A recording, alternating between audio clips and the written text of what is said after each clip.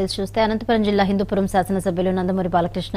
పరిపాలన వికేంద్రీకరణ కోసం రాష్ట్రాన్ని కొత్తగా పదమూడు జిల్లాలను ఏర్పాటు చేయడాన్ని స్వాగతించారు. అనంతరం బాలకృష్ణ మాట్లాడారు.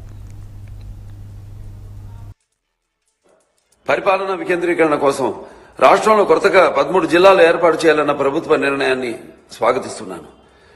హామీ ఇచ్చిన విధంగా ప్రతి పార్లమెంట్ కేంద్రంగా జిల్లాలను ఏర్పాటు చేయాలి. అనంతపురం జిల్లాలో హిందూపురం అన్ని రంగాలలో అభివృద్ధి చెందడమే కాకుండా అటు వ్యాపార పరంగా వాణిజ్యపరంగా మరియు పారిశ్రామికంగా ఎంతో అభివృద్ధి చెందిన సంగతి అందరికీ తెలిసిందే.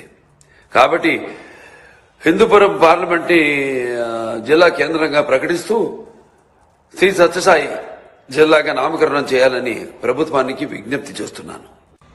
హిందూపురం పట్టణ పరిసరాల్లో జిల్లా కార్యాలయాలు ఏర్పాటు చేయడం కోసం భవిష్యత్ అవసరాల కోసం అవసరమైన భూమి పుష్కలంగా ఉంది. జిల్లా ఏర్పాటులో రాజకీయం చేయకండి.